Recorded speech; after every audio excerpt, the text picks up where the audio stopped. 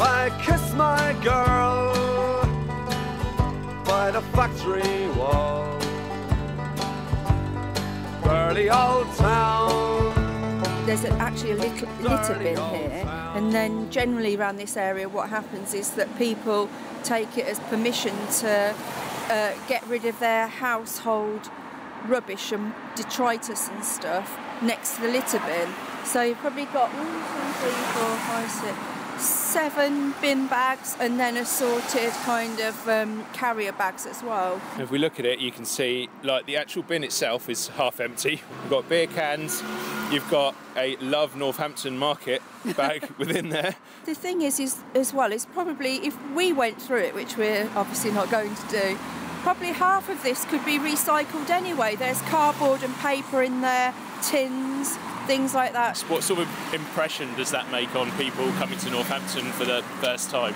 Obviously, it's just sort of ghastly to look at, but there's um, for people who live here as well, it's just horrible because some people have lived here all their lives or have come here to go to college and stuff like that, and they, there seems to be a very, very, very slow erosion of um, standards as we can and, see. and as you're This is hor- walking down St. Michael's now, we can see almost a whole pizza that's been thrown on the floor. On the there are numerous plastic bottles. We're hearing a lot about plastic at the moment, of course. Uh, lots of what look like old coffee cups.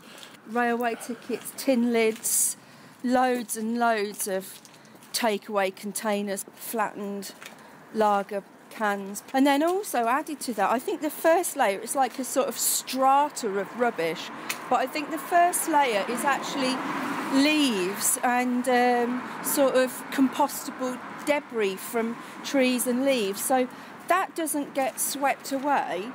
Um, and then it blocks the drains. I um, live in Abington, but I work in Burn Street in the Mounts, and this is typical, especially of the Mounts area. Um, I mean, look at this. You, this is just underneath somebody's between two parked cars. There is already this kind of thick layer of leaves and debris, and then added to that is uh, flattened cans, plastic, ring pulls, cardboard. And we just walked past, uh, someone left a computer out, and now this looks like almost a a part of someone's house with a cigarette packet and a, and a beer can on, on top of it. So again, then- those those layers of Yeah, rubbish.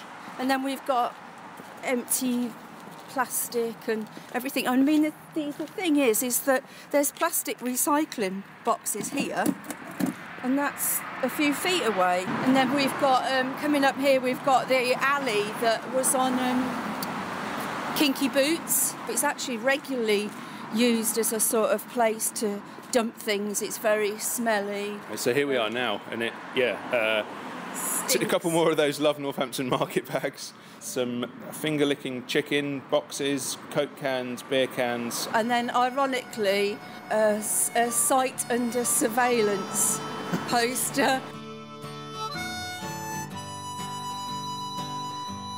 Just gone off of uh, Grove Road, uh, and we found another another pile of rubbish here. Do you want to sort of describe what you're seeing now? Well, somebody's made an attempt to tidy up because they've put all of their tins, their lager tins, into bags and then they knot the bag. But then amongst that, we've got chicken bones, um, bag with a nappy in, um, lots of cigarette ends and glass bottles. Some of the food stuff that's here is, is going to ultimately start attracting vermin as well. Oh yeah, yeah. Um, I know that friends of mine have um, been uh, talking to me on Facebook and saying that they they've been down on a Sunday to Abington Park and there's rats inside the litter bins now, and I've seen huge rats now leaving round litter piles. Shall we take a, a bit more of a walk up, see what else we can find? Oh yeah, it's like a, the worst kind of treasure hunt. Dirty old town.